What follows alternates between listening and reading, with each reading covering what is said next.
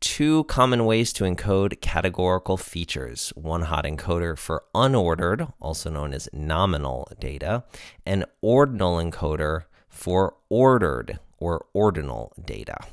And we'll come back to this statement in a bit. But here's our example. So we've got this data frame. Shape is an unordered feature, meaning there's no logical ordering to um, the categories. Because of that, we're going to use one hot encoder. And here we have one hot encoder. Um, we pass it shape, and it generates three columns because there are three possible categories of shape. One hot encoding is the same as dummy encoding. Um, this left to right order is alphabetical, thus this represents circle, this represents oval, and this represents square. Now, you could use get dummies in pandas to do this, but one hot encoder integrates much better into the scikit-learn workflow, meaning pipeline, meaning cross validation, meaning grid search. So, um, one hot encoder is definitely the way to go uh, rather than get dummies. Okay, so that is our unordered data. Our ordered categories are class and size. So by ordered, I'd mean there is a logical ordering within each feature that may have a relationship with the target. And I'll give an example in a bit. But um, with class, we see first, second, third, and what we do is we define the ordering of the categories when we create our ordinal encoder instance. So first before second before third, and then for this size feature, we say small, medium, large, and extra large. Then when we use um, ordinal encoder, it encodes each feature as a single feature.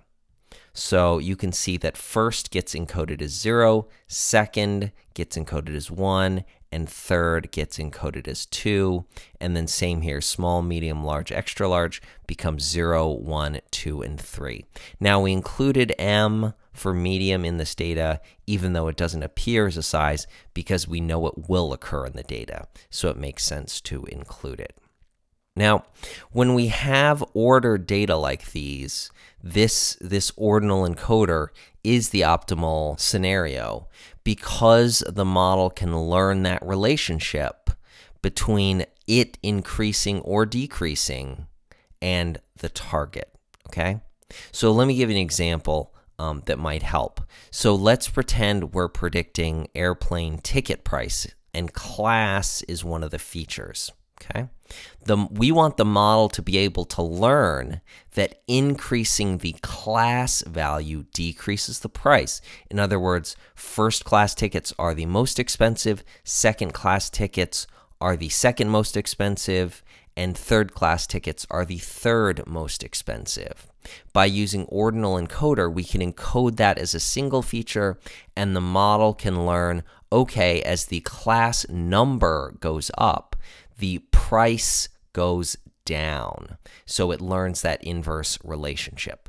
If you were to use a one hot encoder for class, meaning dummy encoding, it could still learn that relationship in a way, but it would only learn the relationship between first class and not first class. So if you dummy encoded this, it would be three columns, and it could learn, okay, when you have uh, first class and not first class, here's the impact on the price. But it's even, it will result in a better model if you encode it as a single feature using ordinal encoder. Okay, let's go back to label encoder. And I said label encoder is for labels, not features. So label encoder is designed for class labels, okay? It works very similar to ordinal encoder. So label encoder and ordinal encoder work similarly, except with label encoder, you can't define the ordering and you can only encode one thing at a time. Whereas with ordinal encoder, you can encode multiple features at a time. Thus, label encoder is not useful for features and scikit-learn docs recommend against using it for features. They explicitly recommend against it. So ordinal encoder is for features, label encoder is for labels. Um, and in fact, just as a side note, all scikit-learn classification models that I'm aware of can accept string values as the labels, So you don't actually need label encoder usually. So um, the use cases for label encoder these days are quite limited.